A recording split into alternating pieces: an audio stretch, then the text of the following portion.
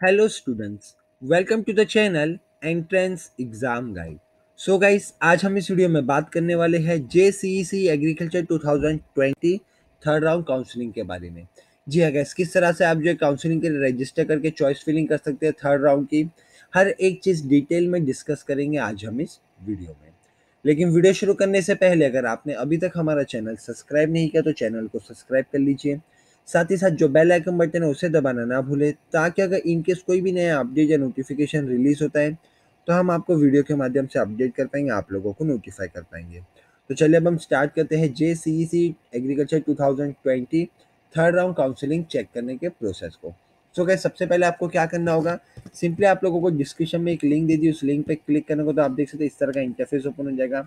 यहाँ पे new candidate पे क्लिक करना होगा और गैस आपको सिंपली यहाँ पे आपका एप्लीकेशन नंबर उसके बाद गैस बाजू में आपको यहाँ पे Aadhaar card number mobile number आपके मोबाइल नंबर पर एक ओटीपी आ जाएगा वो एंटर करना होगा। ईमेल आईडी आपको एंटर करनी है और यहाँ पे ईमेल आईडी पे जो ओ आएगी वो एंटर करनी होगी।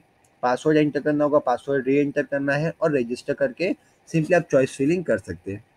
उसी तरह से अगर आप रजिस्टर कर चुके ऑलरेडी तो गैस डायरेक्टली आप अगर रजिस्टर कर चुके तो आपको यहाँ पे एग्जिस्टिंग कॉन्टैक्ट में डायरेक्ट एप्लीकेशन नंबर और पासवर्ड एंटर करना होगा और लॉगिन करके आप डायरेक्टली चॉइस फिलिंग जो है कर पाएँगे।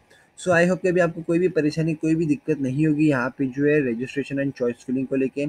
इनकेस कोई भी प्रॉब्लम फेस होती है, कोई भी हेल्प किया गया तो डिस्क्रिप्शन में आपको टेलीग्राम चैनल की लिंक प्रोवाइड करा दी गई है।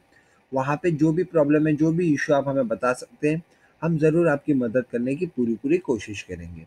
इसी के साथ अगर ये वीडियो अच्छा लगा, वीडियो आप लोगों के लिए बेनिफिशियल नॉलेजेबल रहा हो तो प्लीज़ लाइक कीजिए शेयर कीजिए सब्सक्राइब कीजिए और हाँ बेल आइकन बटन दबाना ना भूलिए। Thank you friends